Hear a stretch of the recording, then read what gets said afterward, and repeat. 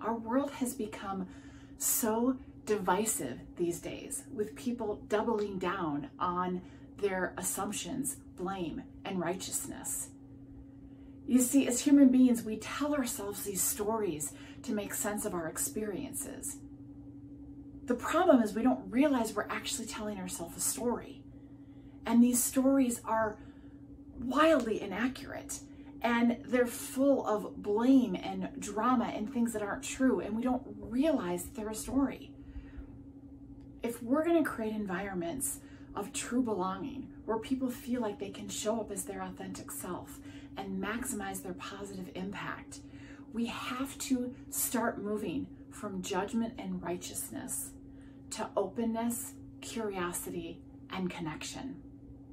Our brains cannot be both judging and helping at the same time. So, my challenge to you is the same that I give to a lot of my clients and remind myself when that righteousness surfaces.